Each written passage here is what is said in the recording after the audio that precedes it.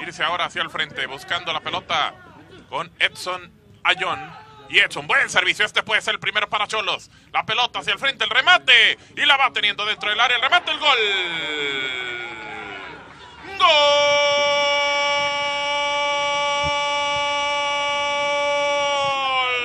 ¡De Cholos! La jugada que metían hacia el frente. Buen servicio. Y me parece al final es Rafael López el que termina metiendo el gol para el conjunto de Cholos de Tijuana, el 344, Jorge. Sí, señor, en una jugada contragolpe, ¿no? El conjunto de Tijuana, Guadalajara, que propone desde el principio, eh, muy ofensivo y, bueno, se va y se eh, desboca el ataque.